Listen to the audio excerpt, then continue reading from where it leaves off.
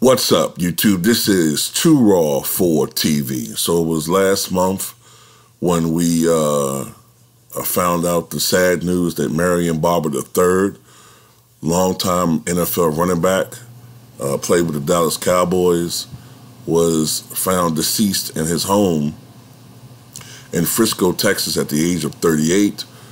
Well, according to TMZ, a cause of death has been revealed for the 38 year old and it's sad. He passed away from accidental heat stroke.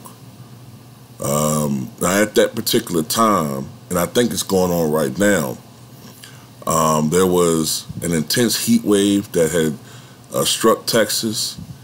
Uh, right now, Texas is in the midst of a heat wave.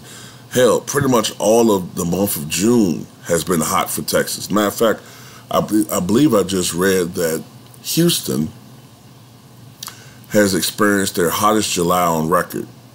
That probably goes back to the 1870s. So Texas has been in a, in a very extreme uh, pattern, weather pattern of intense volatile heat. Um, now, heat stroke tends to affect people who are older, uh, bad health, uh, younger people. However, it can it can affect anybody. We've seen people who are um, in peak physical condition athletes suffer from heat stroke. I believe that's what killed Korey Stringer uh, all the way back in what 2001. A player with the I think he was with the Minnesota Vikings. So um, yeah, this is something that you can't play with. Uh, make sure you get a lot of fluids.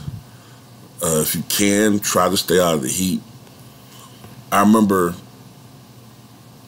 man, I had this job. I think I was 20, 26, no, 27.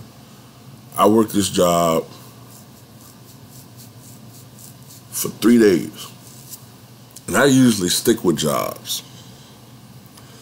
I was out in the heat all fucking day. Every day. When I started working, it was June. It was unusually fucking hot. It was like 100 some degrees each day.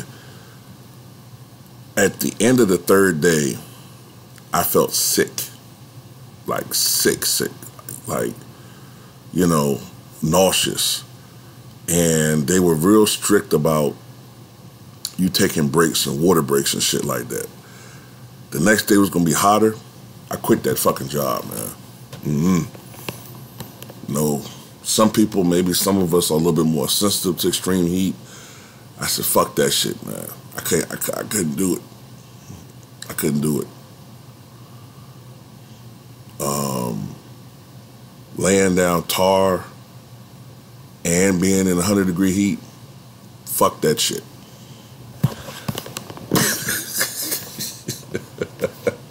fuck that, man. But anyway, tell me what you guys think.